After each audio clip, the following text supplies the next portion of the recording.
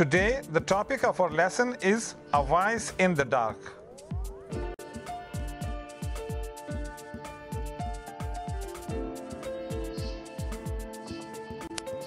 The points of our discussion will be about the author and questions and answers.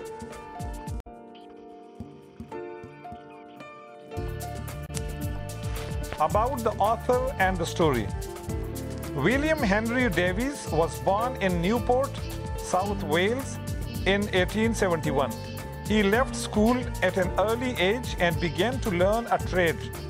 Davies spent a significant part of his life as a tramp in the United Kingdom and United States, but still became one of the most popular poets of his time. The principal themes in his work are observations about life's hardships, the ways in which the human condition is reflected in nature, his tramping adventures, and the various characters he met. This passage has been taken from the autobiography of a super tramp, which is the story of his life on the road. Questions and answers. Question A What time of the year was it when this incident took place? How do you know? Answer We know from the following line that this incident took place in winter season. The snow is still deep and the mornings and evenings cold. Question B What kind of train was it? Diesel, electric, or steam? Uh, how do you know? Answer It was a steam train because it steamed into the station. It has a whistle, a fireman, and an engineer. These things indicate that it was a steam train. Question C. What in the story is described as being insignificant? What does this mean? Answer. The small stations at which the train stopped are described as being insignificant. This word insignificant means unimportant. Question D.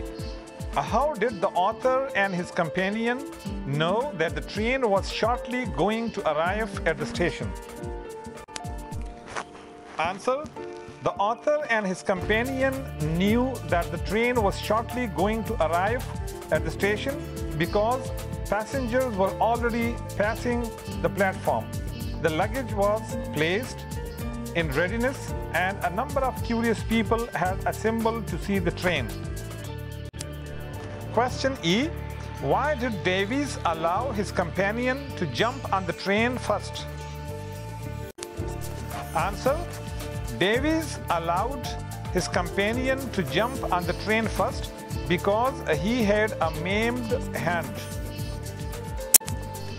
Question F. What is meant by a blind baggage car? Answer. A blind baggage car is the carriage nearest to the engine. This carriage has no door on it. Question G. Does Davies blame the man for the accident? How do we know? Answer. Davies blames the man for the accident because he stood thoughtlessly irresolute on the step and then moved very deliberately. This suggests that he believes the man was being slow intentionally. Question H. Why do you think the man jumping on the train before the author hesitated? How is hesitation described by the author? What might have happened if the man had not hesitated? Answer The man might have hesitated unintentionally. The author describes his hesitation as thoughtlessly irresolute. If the man had not hesitated, Davies would have boarded the train and would not have lost his foot.